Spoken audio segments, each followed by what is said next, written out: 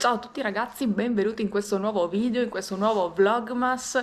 Dopo la mezza delusione di Meduno, oltre ad aver trovato una fonte luminosa che mi illumini decentemente in modo che possiate vedere il mio bel faccione con mascherina annessa che ho abbassato per l'occasione, anzi facciamo così così non si nota più di tanto, ho anche deciso di giocare in casa e andare sul sicuro e uh, quindi siamo a Spilimbergo dove non c'è una vera e propria rassegna ma soltanto alcuni presepi che meritano una visita o comunque di dargli un'occhiata. Il primo che vedete in una ripresa qui è quello che c'è nella piazzetta della posta, piazza Borgolucido ed è più o meno sempre uguale. Oggi quest'anno è un pochino più illuminato e decisamente è carino da vedere. Il secondo invece è in pieno centro, è il presepe in Santa Cecilia, creato appunto all'interno della chiesetta che si trova alle, alle spalle del Duomo, dietro al Duomo.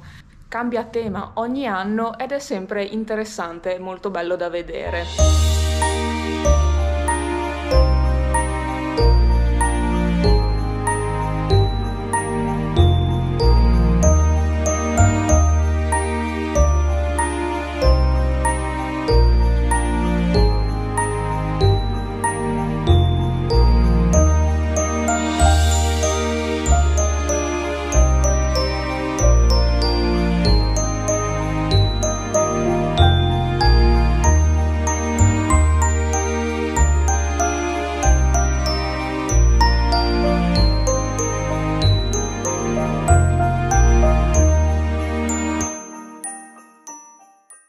L'ultimo, il terzo, è quello che dà il titolo a questo video e appunto, essendo Spilimbergo la città del mosaico, non poteva che avere un presepe in mosaico che è stato appunto installato in Piazza Duomo negli ultimi anni, appunto è cominciata questa tradizione, chiamiamola così.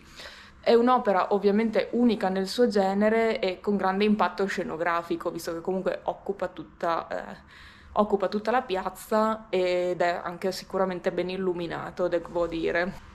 Ogni anno peraltro vengono aggiunti dei pezzi, chiamiamoli così, per cui si è partiti con soltanto la rappresentazione della Sacra Famiglia che è posizionata un po' sopraelevata sopra quello che dovrebbe essere il pozzo, e nel corso degli anni sono stati aggiunti tre angeli e poi altre figure. Quest'anno mi pare che aggiu- siano state aggiunte eh, fi- delle figure che rappresentano i popoli della terra.